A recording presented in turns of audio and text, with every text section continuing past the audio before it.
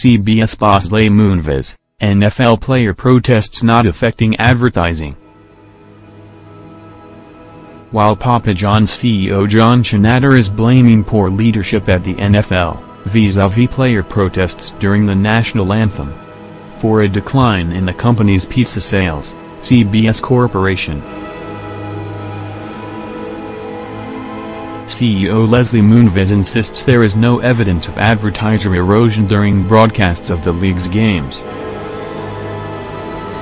Moonves said on CBS's quarterly earnings call Thursday that he does not know of a single sponsor that has pulled ads from NFL games because of the controversy.